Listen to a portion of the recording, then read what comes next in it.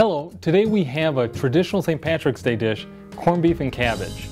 First we're going to take our four pounds of corned beef, put it in our slow cooker, and toss two cloves of garlic and then cover it with water. 30 minutes left on the beef, so now we'll do the cabbage. Saute your carrots, onions, and garlic until soft, roughly about 5 minutes. Add your cabbage and cook until soft. This will take a little bit. Our cabbage is cooked, so we'll just plate it up. We'll start with a little bit of cabbage. We'll add our sliced corned beef. And there you go, a traditional St. Patrick's Day corned beef and cabbage.